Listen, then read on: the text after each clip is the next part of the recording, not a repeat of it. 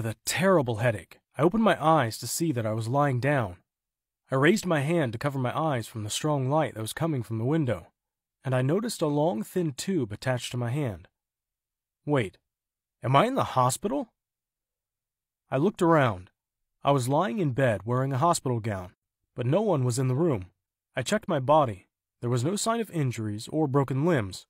I was not feeling any pain. How did I end up here? I turned around and noticed the red button next to my bed. It had a little sign next to it that said, Press in case of an emergency. And so I did.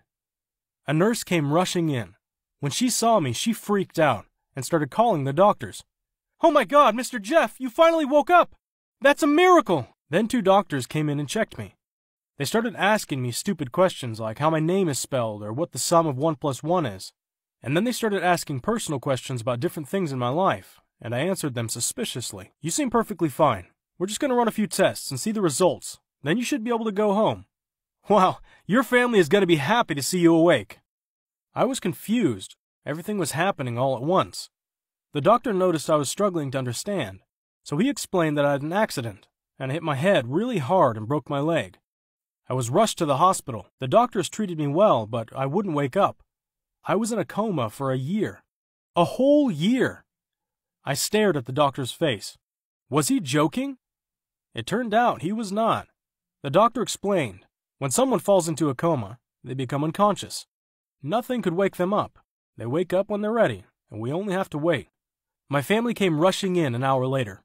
Mom, Dad, and my twin sisters. They were excited to see me. Mom was crying, and Dad was emotional for the first time in his life. Then, a nice looking woman called Amelia came in. She said hi to everyone and kissed Mom. Then she came, she kissed me on the cheek, and she gave me a one minute hug, then said, Oh my god, I'm so happy you're back. I looked at her feeling confused. Excuse me, do I know you? They all started laughing, and then Mom said, Oh, the doctors warned us there would be some memory loss because of the head injury. Then she looked at me like she was feeling sorry for me and said, She's your fiancée. She's the one who saved your life. Don't feel bad, honey. You'll remember everything in time. But I responded, No, she's not. I don't remember being engaged to anyone. But Mom said, Look at your finger, sweetheart. The ring is there.